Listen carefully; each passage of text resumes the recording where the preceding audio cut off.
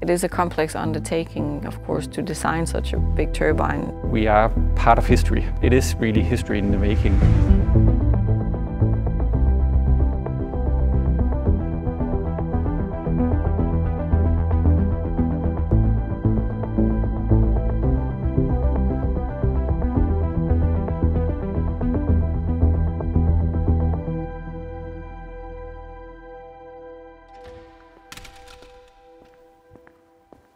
My name is Christian Gjerlev. I'm uh, the product owner for offshore in uh, Vestas Power Solutions. To me, I, I, I, have to say that I was so impressed when I saw the prototype nacelle for the first time in Lindø. It's so many different parts that are coming together there. A lot of people have been working on the V236 15 megawatt for actually for more than, than two years. We've been doing engineering and design and calculations, but now we are seeing that physical live product and, and we'll, we'll start to test it and, and get some real life experience with it.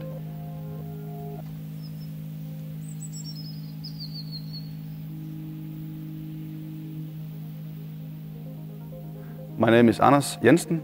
I'm a project portfolio lead specialist within manufacturing. Having seen the nacelle on drawings on a computer for the past couple of years, we know this would be big. But seeing it in actual real life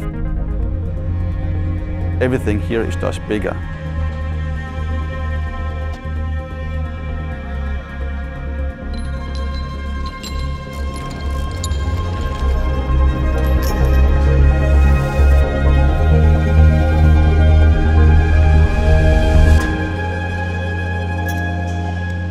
So we have the steel structure of the nacelle, which is like the skeleton.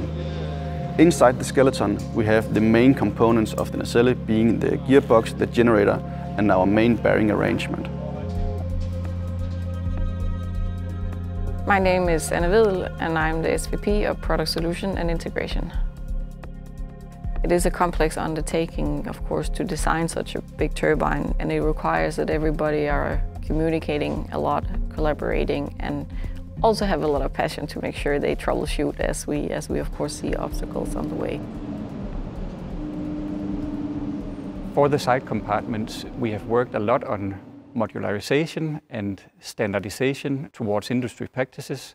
And one of the good examples is that the size of the compartments actually fit very well with the supply chain requirements. They are very easy to transport both on trucks and, and on, on ships. The V236 15 megawatt is actually also one of the first manifestations of uh, Vestas' modular approach to product development.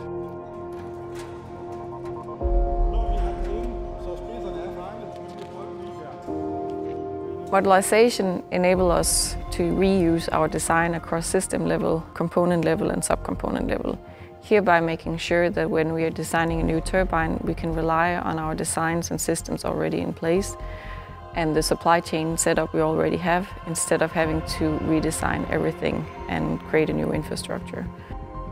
My name is Jesper Uth. I'm Senior Director in Test and Verification.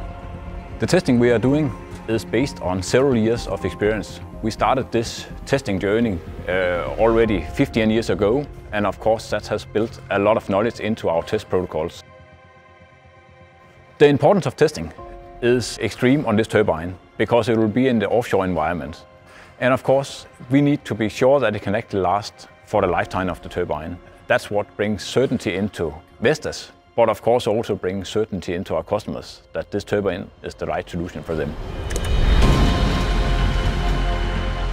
Once again, Vestas is taking a very big step forward for the wind industry. We're leading the way into this supersized segment of wind turbines. We're preparing for the energy transition, will be a very big part of it. So it's a, it's a massive undertaking. We are hosting a very large project and seeing so many skilled people working relentlessly to make this happen really, it really makes me extremely proud and humble. It's a, it's a first step on offshore becoming an even more important part of the global energy system. It's an important contribution from Vestas to the energy transition. I don't like to use big words, but I think we are part of history. It is really history in the making.